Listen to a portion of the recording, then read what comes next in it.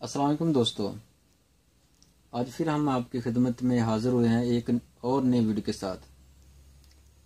دوستو، آج میں آپ کو بتاؤں گا اس ٹیپرل کے متعلق۔ تو دوستو، یہ اسٹیپر میں بازار سے خرید کے لایا ہوں۔ اس کا مقصد ہے لکڑی کے اوپر پن وغیرہ لگانا۔ ٹھیک ہے دوستو، یہ اسٹیپر ہے۔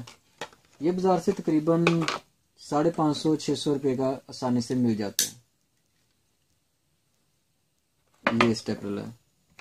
اور یہ پنی ہے اس کی؟ یہ ایک ڈبی میں تقریباً پانچ ہزار پیس ہوتا ہے۔ اور یہ مارکیٹ سے تقریباً ایک سو پچاس روپے کی مل جاتی ہے۔ یہ اس کی پنے ہیں یہ مختلف ڈیزائن کی بھی ہوتی ہیں۔ میں ویسے یہ لے کے آیا ہوں۔ یہ پنے ہیں اس کی۔ تو دوستو، میں آپ کو چیک کراتا ہوں کہ یہ کس طرح کام کرتی ہے۔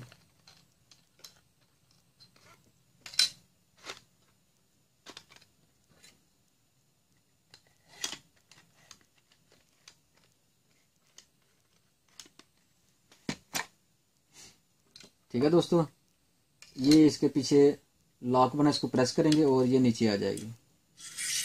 اس کو کھینچنا، یہ باہر آ جائے گی۔ یہ میں نے ہاف پنوں کا ایک حصہ کی ہے، یہ اس کے اندر ڈال دینی ہے۔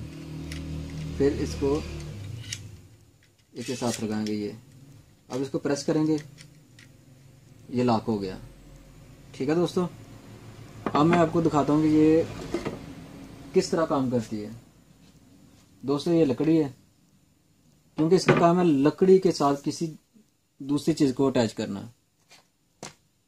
تو یہ میرا کارڈ ہے۔ میں اس کو آپ کو لگا کے چیک کرواتا ہوں۔ یہ دیکھیں۔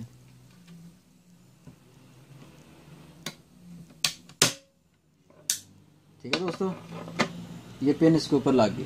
یہ دیکھیں۔ ٹھیک ہو گیا۔ اس کا مقصد ہے لکڑی کے ساتھ کسی کو بھی کسی چیز کو اٹیچ کرنا۔ یہ عموماً فلیکسنگ وغیرہ کے فریم بنانے کے لیے استعمال ہوتی ہے۔ یہ لکڑی کا فریم ہوتا ہے، اس کے اوپر فلیکس لگا کے اس کی مدد سے پننے لگا کے اس کو جوڑ دیتے ہیں۔ ٹھیک ہو گیا دوستو؟ دوستو، پھر ملیں گے ایک اور نئے کے ویڈیو کے ساتھ۔ اللہ حافظ۔